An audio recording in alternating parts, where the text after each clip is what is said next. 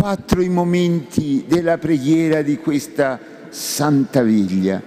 Abbiamo cominciato con il segno del fuoco, il fuoco nuovo, il fuoco che richiama la vocazione di Mosè quando dovette farsi carico del popolo e comincia la storia della liberazione.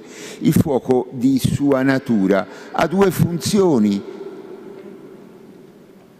trasforma e illumina. Non c'è materiale al mondo che a contatto del fuoco non si trasformi, ma anche una piccola luce è il segno delle nostre candeline. Anche una piccola luce fende il buio.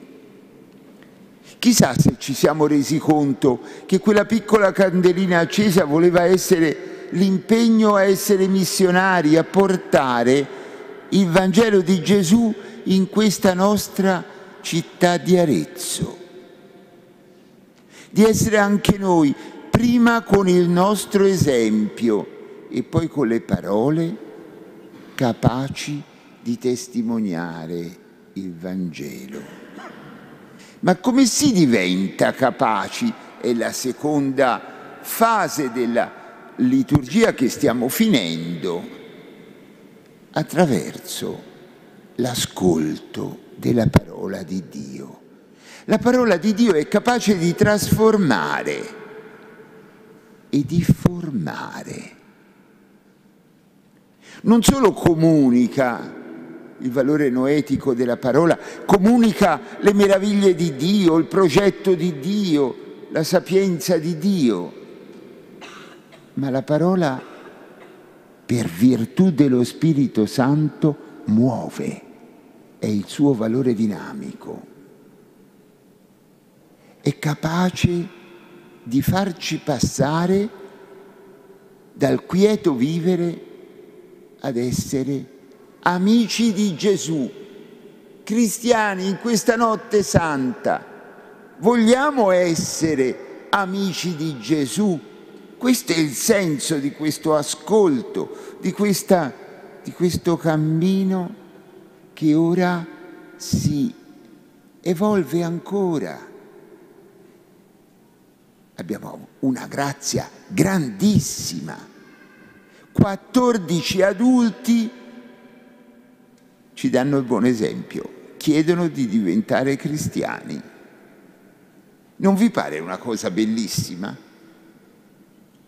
Invocando le litanie dei santi, noi ora ci avvieremo a battezzarli, a cresimarli.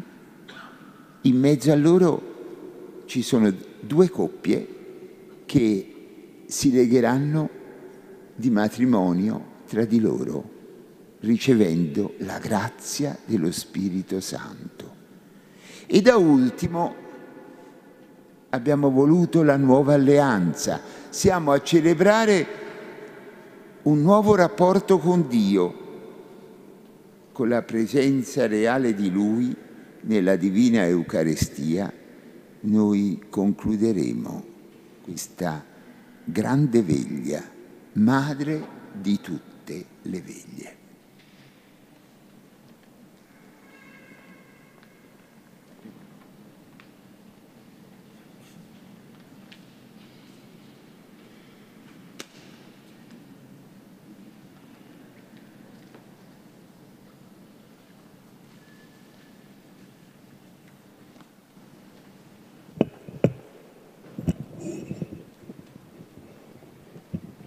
Invochiamo la misericordia di Dio Padre Onnipotente per questi suoi figli che chiedono il santo battesimo.